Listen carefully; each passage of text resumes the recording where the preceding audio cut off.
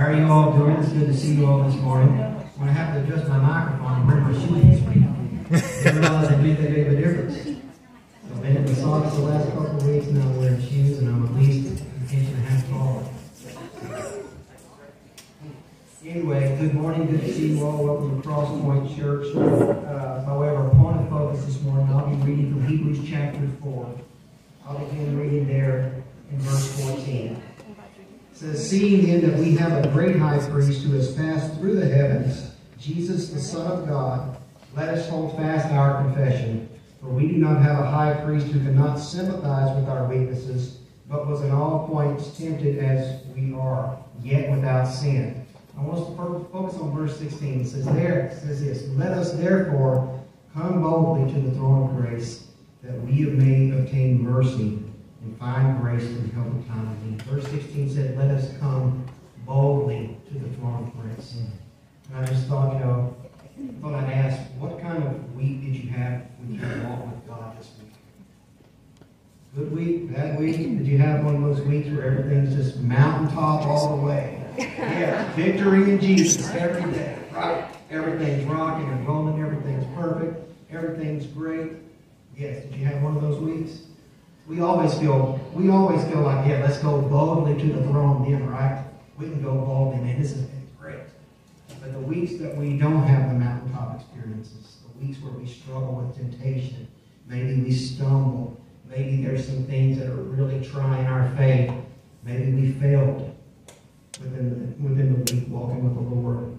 We always, we don't feel as bold, do we? To do what? Instead of coming into the Father's presence, we want to kind of just, we don't think about coming boldly. We think about coming timidly if we think about coming bold. But it says here to come boldly. It reminds me of one time as, as a boy, I was in the first grade. Back in the good old days when public educators were allowed to beat children. You know, or I should say discipline, corporal punishment, whatever you want to call it. it felt like beating.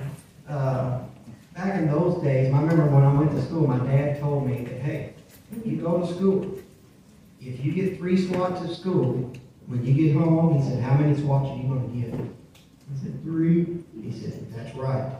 He said, so you just remember that when you go to school. Whenever you get there, when you get home, you're going to get. Okay.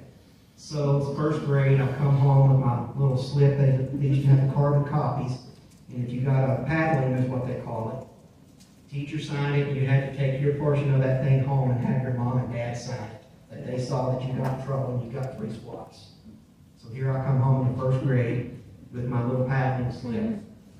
And let's just say I wasn't looking forward to dad getting home.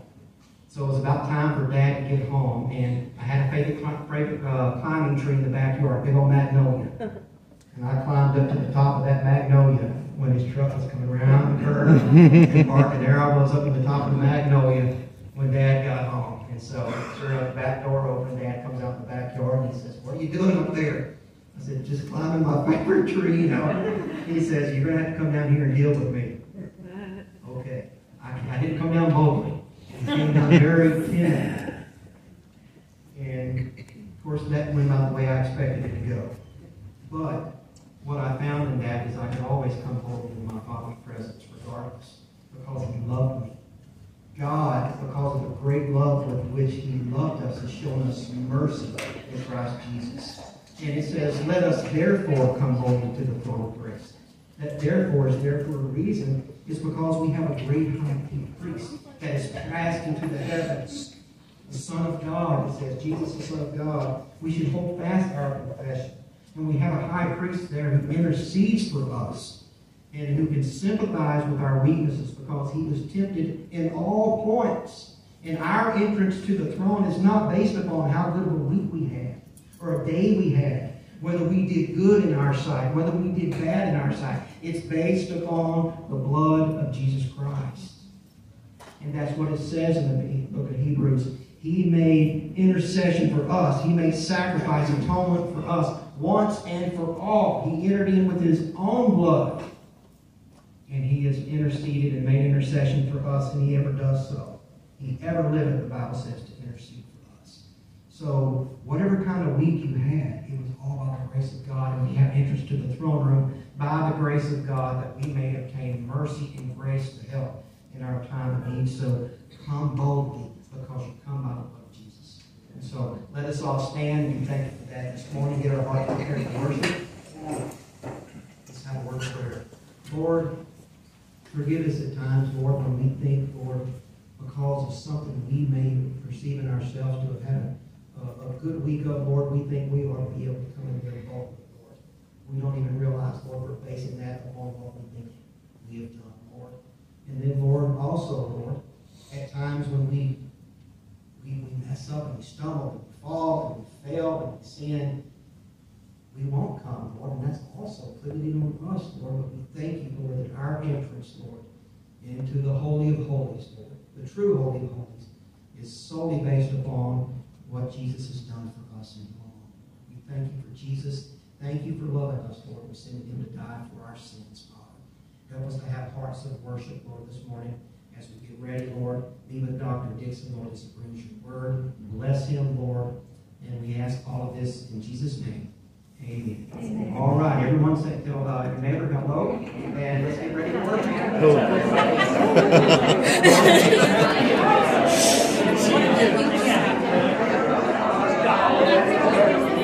All right, guys. Lord willing, I think we're good to go.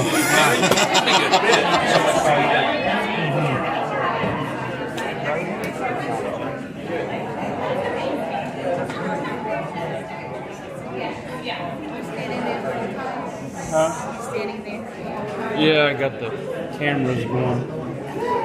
I got trying to switch views.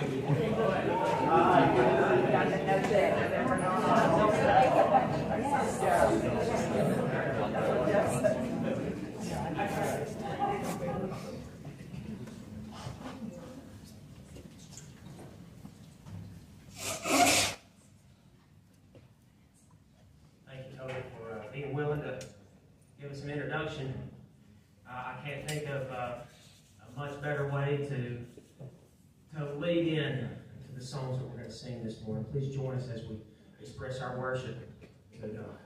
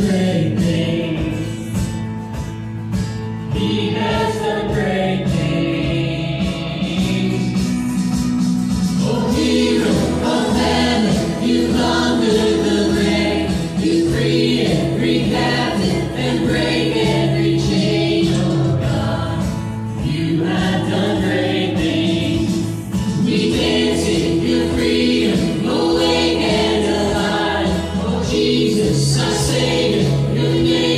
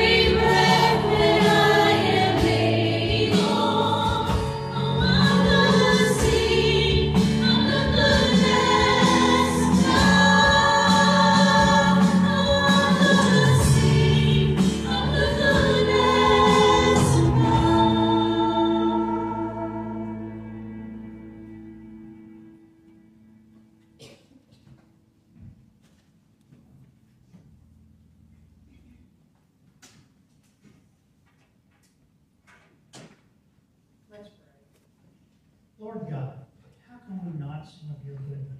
All that you have done, everything you have made. Lord, everything comes from your gracious hand. You're such an awesome, awesome God in so many ways. And Lord, our lives are dependent upon you. Lord, thank you for this opportunity to be together. Thank you for calling us together this morning.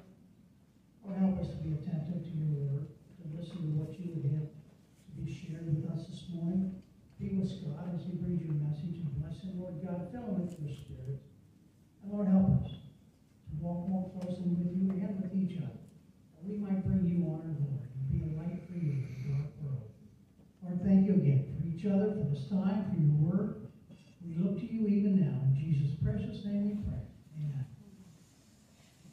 A beautiful and the, the song said, "Oh, give thanks to the Lord, for He is good, and His mercy endures forever." You know, when we look at Jesus, we look at Jesus. He is good. Yes, He is. Yes, he is. And we really want to thank Scott Dixon to come, come and preach to us. It's been a while. He says it's like January or February since we've seen him. So he's a, he's a professor up at uh, Cedarville, and he has graciously uh, accepted to come to, to preach to us. So Scott, come on. Thanks so much. Well, if I sit stand here, you guys are gonna get a crick in your neck. Uh, and I'll just sit on, no, I can't sit. You gotta make it a little firmer, I could sit down. It's good to be back. Yeah, I was just checking, um, I looked back to see when I was here, and it was in January, like fifth and twelfth, something like that. So it is good to be back. I'm glad to hear that, you know, you're looking at somebody and could be things are moving forward, and that's good too. I, I, I try to pray for you on a regular basis. Uh, This little church down in, uh, was it southwestern, no, I'm sorry, I was going to Ohio. Southeastern Indiana, or southwestern Ohio. Uh. I, my GPS was having, freaking out when I was driving in on that, is it state road or state something?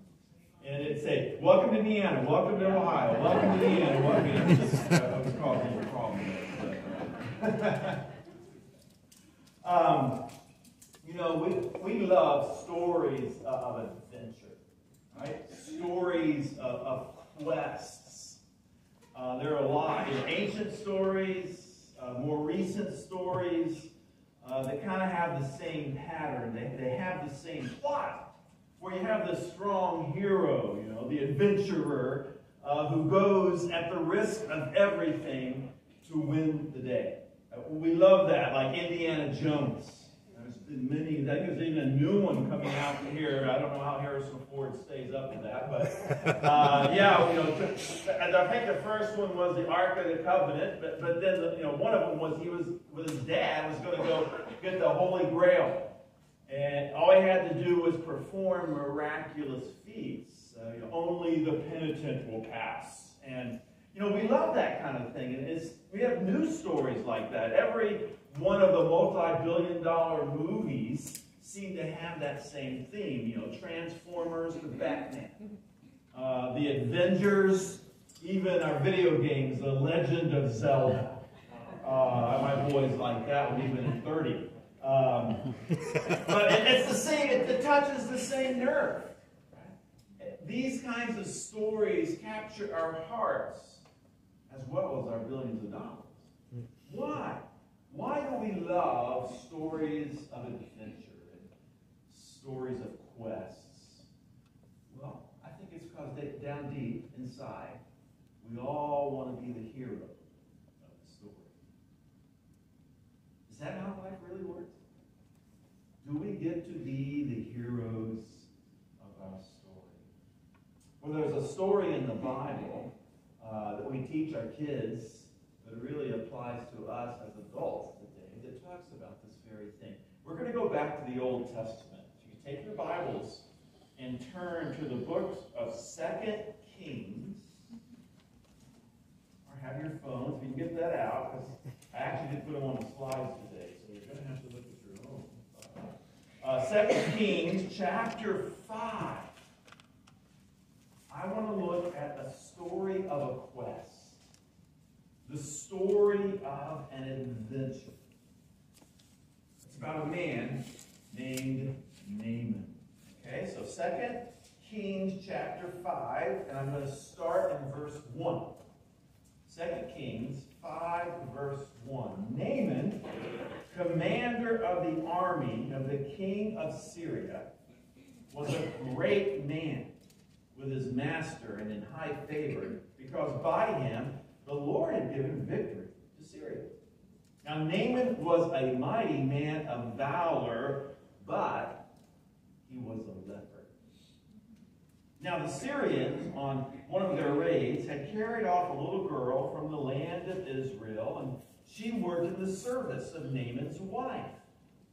And this little girl, she said to her mistress, Would that my lord, Naaman, were with the prophet who's in Samaria.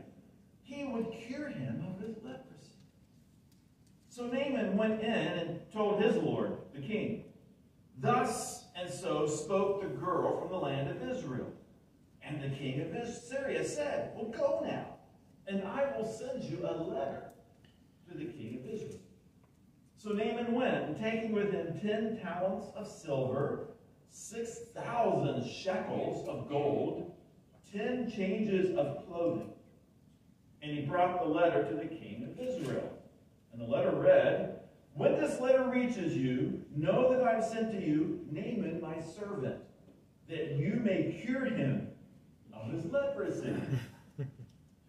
now, when the king of Israel read the letter, he tore his clothes, and he said, Am I God?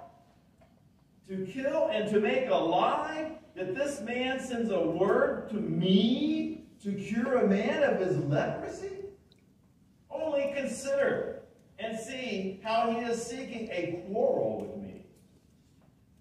Now, when Elisha, the man of God, heard that the king of Israel had torn his clothes, he sent to the king, saying, Why have you torn your clothes? Let him, talking about Naaman, let him come now to me, that he may know that there is a prophet in Israel. So Naaman came with his horses and his chariots, and he stood at the door of Elisha's house. And Elisha sent a messenger to Naaman, saying, Go and wash in the Jordan seven times, and your flesh shall be restored, and you shall be clean.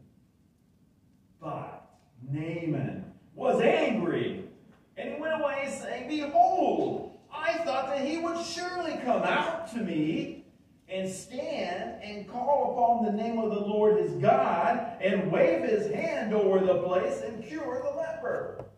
Are not Abana and Pharpar, the rivers of Damascus, better than all the waters of Israel? Could I not wash and then be clean? So Naaman turned and he went away in a rage. But his servants came near to him, and they said, father, it is a great word the prophet has spoken to you. Will you not it? Has he actually said to you, Wash and be clean? So Naaman went down, and he dipped himself seven times in the Jordan, according to the word of the man of God. And his flesh was restored like the flesh of a little child. And he was clean. Lord, um, this is a story uh, that we've heard. It's such a powerful testimony to how this world works, but most of all, to how you work in our lives. May we take this event from thousands of years ago and through it think about our lives today. And think about how you work in our lives as well. In Jesus' name. Naaman was a strong man. Naaman was willing to risk everything to win the day. He was on a quest called life. And from this man, Naaman, we learn three lessons from our own quests called life. And the first lesson is this We'd all like to be the hero of our own story. We'd all like to think that we have something to offer God. We like to remain in control of our lives. We want to ride, write our own stories. Naaman, well, he's used to being a hero. Uh, and he's used to succeeding in his quest. Uh, think about it. Now, he, Syria, okay, he's from Syria, which was the mightiest nation in the world at that time. And he was the number one warrior. He was the major general. So he was the mightiest warrior of the mightiest nation. So he's got that going for him. So that you know, he's powerful. Two, uh, he was also tight with the most powerful person in the world, the king of Syria. So he could go up to him and ask him a favor. And third, Naaman had lots of riches that came with his position, lots of prestige with the kind of power that he had. But with all that, he was handed a death sentence. He was handed a roadblock. He got. You know, disease is the great leveler of us all. And he didn't just have the potential of losing his life. Naaman would lose his power, his position. Gerals can't show weakness. they can't have a hint of sickness. Secondly, he would lose his connections. What happens to lepers? You're ostracized. You're thrown outside the city. He couldn't talk to the king anymore. And third, he would lose his riches. What good would they do him now? That's the plot, uh, the, the plight of, of Naaman. You know, when we think about our own lives, as we try to be heroes of our stories, as we try to be in charge of our plot, we've been doing that um, since Genesis 3. God created us to serve Him and to serve His story, but Adam and Eve decided in Genesis 3 that they knew better. That they could do better writing their own stories than God. And that independence runs deep in our souls. We all wake up every morning pretty much thinking, hey, we're the center, the center of our story. I think we've got it figured out. I think we can handle life on our own. Yet there have been consequences to that rebellion. Um, because down deep, we also know, along with that independence, we became independent. You know, there's come an end to the story. And we try to avoid it. We at least try to put it off. Remember Leon and searching for the fountain of youth. In fact, if you have a spare $8,000 on you this morning, I know of a, a, a, a website. You think this is It's true. I know of a website where if you send them $8,000, they will send you plasma okay, that you can transfuse for your own plasma of somebody under the age of 25, which for me at 59 sounds pretty good. Right? so they can give me that, and, they, they tell me if I take that plasma and substitute it for my own, I will start to feel like a 25. I, I, I, I, will cure me of my heart disease, if I have any, or my Alzheimer's. Now, the bad news is the guy that sets up the website, the doctor, he, he lost his medical license. Just so you know, so I don't know. But there, there, there are websites like that, right? Everybody knows we've been handed a death sentence and we try to put it off. There has been a robot block to our quest, no matter how powerful we are. You know, some of the some of the people most interested in these kinds of things, elongating our lives, are, are all the people doing the dot-com stuff out on the West Coast. Because they all love the money. They're investing it and trying to figure out how to make us live longer. And it, it's just because they know. I don't care how rich you are, you're still going to die. We all have roadblocks, right? We have a, disease. We also have sometimes unhealthy relationships. Maybe we have a loss of work or maybe unsatisfying work. Maybe there's an addiction. Maybe some family struggles. There are roadblocks in our quest of life, just like Naaman. Yet in the midst of the roadblocks, good news is God sends a missionary. See, God sent a missionary in the most unlikely costume, in the most unlikely shape and size to Naaman. Remember verse 2. This is fascinating. Now, the Syrians, on one of the raids, off a little girl from the land of Israel. This little girl became the maid or the, the servant of, of Naaman's wife. And, and, and she was a missionary. You know, many of you are here this morning because God sent a missionary to you. Can you see their faces? Remember what they look like and their names? Um, someone God sent to you to help you with that rope. Maybe God is calling you to be a missionary like that little girl with somebody else's home. Maybe at your workplace, maybe in your family, neighborhood, school. This unlikeliest of all missionaries sent Naaman on that quest. And he took his riches with him. He, he took his silver, he took his 6,000 shekels of gold because Naaman thought he could buy his way in. He also took his connections. He got a letter from the king, the most powerful person in the most powerful nation in the world. He not only thought he could buy his way in, Naaman thought he could smooth his way in. And he also took his reputation, riding in his big chariot with his legions of people behind him. He thought he could find his way in. Naaman came to Israel thinking he had something to offer that's not so unusual. That's how life works often. That's how his world worked for Naaman. It was quid pro quo. You do something for me and I'll do something for you. That's why the king of Israel was freaking out. He, didn't. he knew he couldn't do what the king of Syria asked him to do. That's how their religions work. They thought the greater the sacrifice to their God, the greater the, what the God would owe them.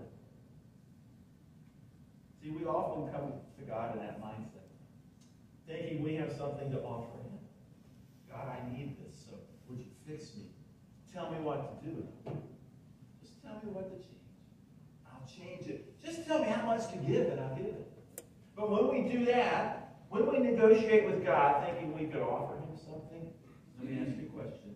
Who's the hero of the story? Who's the center of the story? It's still us. Naaman thought he could negotiate with this God of Israel while still remaining the hero of his story. But God had other plans. Lesson number one from Naaman. We all want to be the hero. Lesson number two, God calls our love.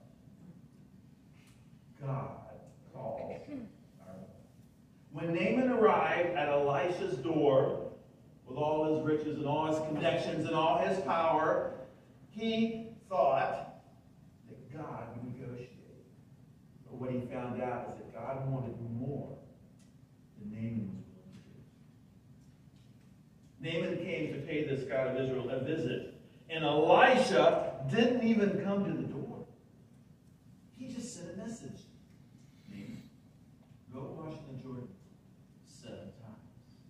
What does Naaman do? He throws a hissy fit. The two-year-old. I have a two-year-old granddaughter.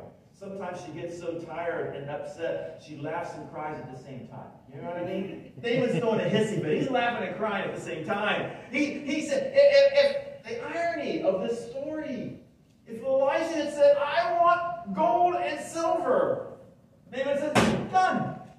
Well, yeah, if Elisha had said, I want a favor from the king of Syria, David would have said, done. If Elisha had said, Give me the head of my greatest enemy, Naaman, Naaman would have said, Done.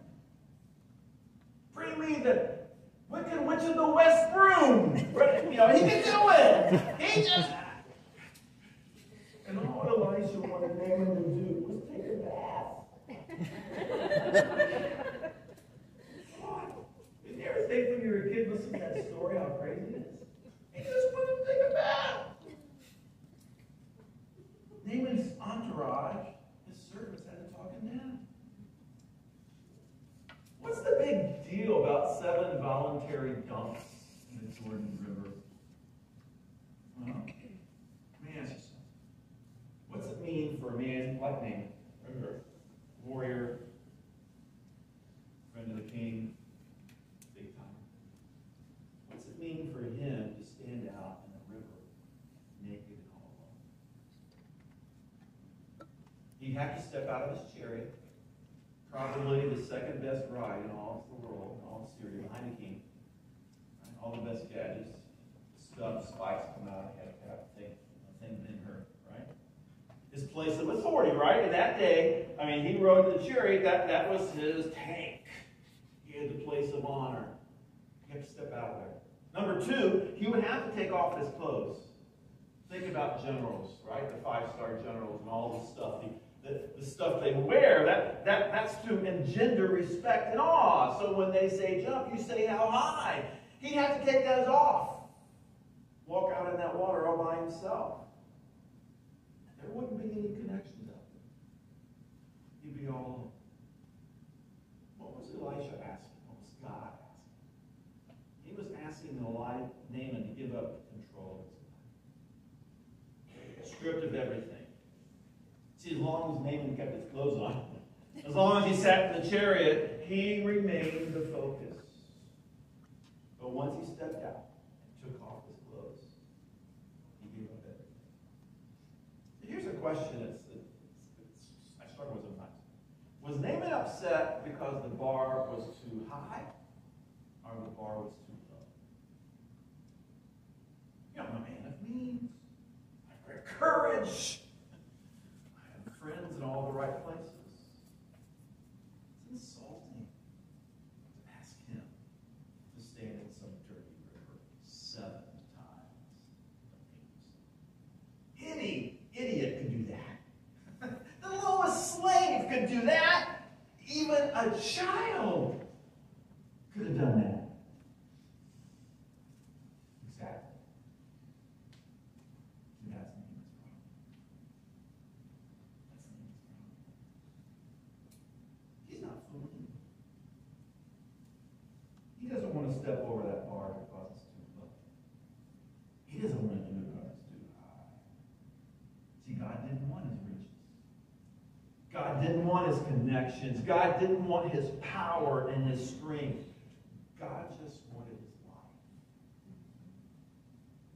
Naaman wasn't willing to give it first. If his salvation came by his exploits, by his stuff, who would have the upper hand in his relationship with God? Who would have been in control? But if we give up everything, our lives, then we owe God. If Naaman could have won his way into God's good graces, who would get to call the shots? One of my favorite preachers, Tim Keller, calls that threatening grace. See, God's grace is really threatening. Because it says he owes us nothing. He gives us all. This story is such a powerful illustration of, of how we have to approach life and how we need to approach God. Um, we also, like Naaman, face mortality? Yet none of the things that we cling to, that we think make us matter, help us face God. For all of us, there's going to come a time where we stand before Him alone and without anything to offer, just like. Last year, uh, I, I went to a funeral of a 52-year-old man, uh, an acquaintance of mine. Uh, he had, had gotten cancer and died young. And, and he was a teacher at my kid's high school and a football coach for one of my sons who played football. And, and, and his name is Dave. He's a very godly man, Christian man. He went to Cedarville as undergrad. And he had a great impact on many of the students at the high school, as football players. And he had a beautiful legacy. So I remember it was a, the line, it was at our church, our, our, at our home church back in Ohio. And the line to get in, you know, just to see the family in the, in the auditorium was hours long. And, and, on, on his casket, you know, was the, the, the pictures, the family pictures, also the football helmet from the high school, and then his uh, Cleveland Browns jersey. He loved the Browns. And uh, it just reminded me that at death, when we're in that casket, everything else is gone. Maybe on top of the casket, but it's not inside. When we die, uh, everything is stripped even our good lives. It's gone. We don't have our loved ones. We don't have our work accomplishments. We don't have our stuff. All that gets left behind. We stand before God. So it's of the utmost urgency that we have a clear understanding that we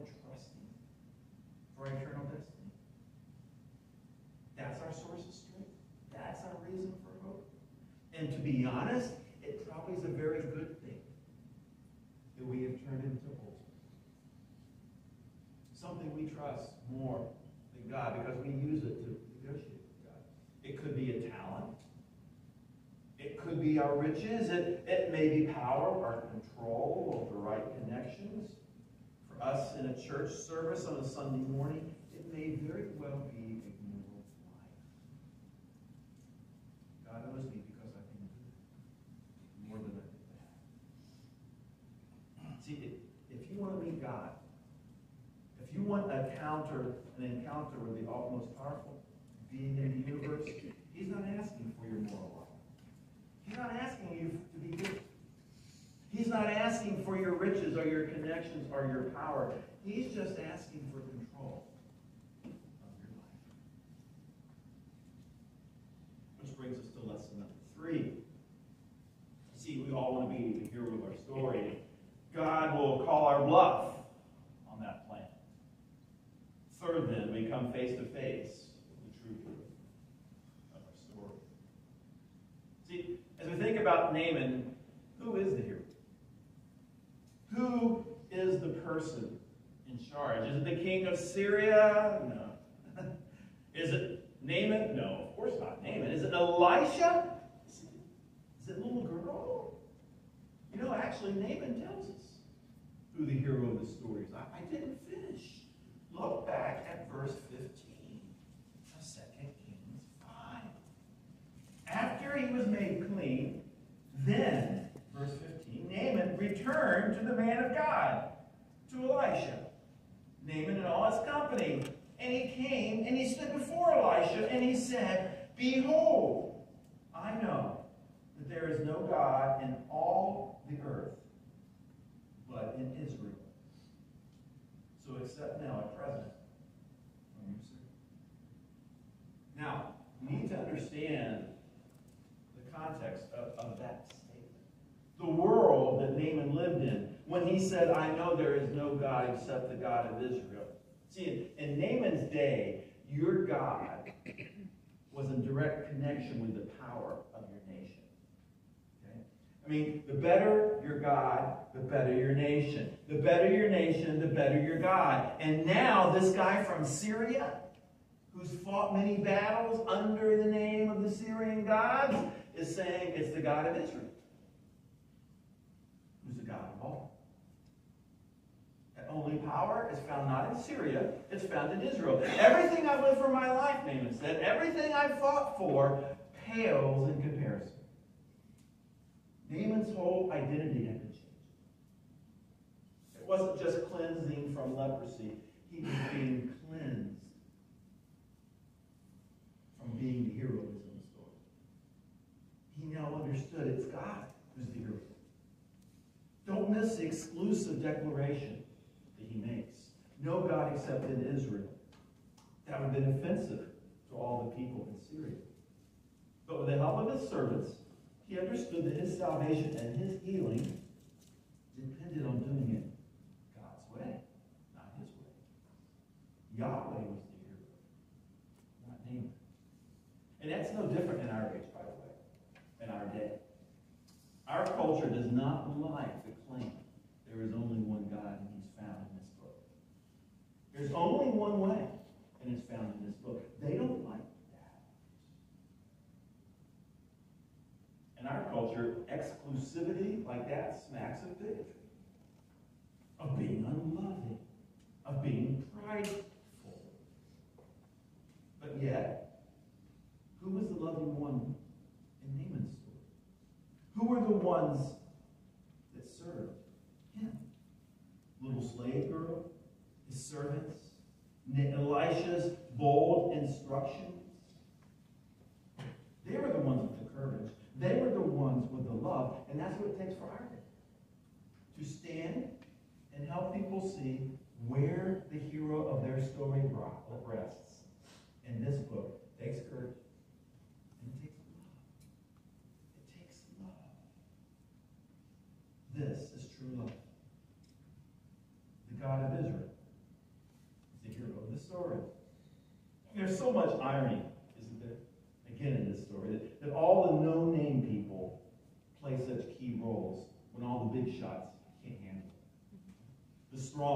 king of Syria. He could only send a letter. The king of Israel could only freak out. Naaman himself couldn't do a thing. But it was that little slave girl in Syria. It was the entourage of Naaman. It was the weak.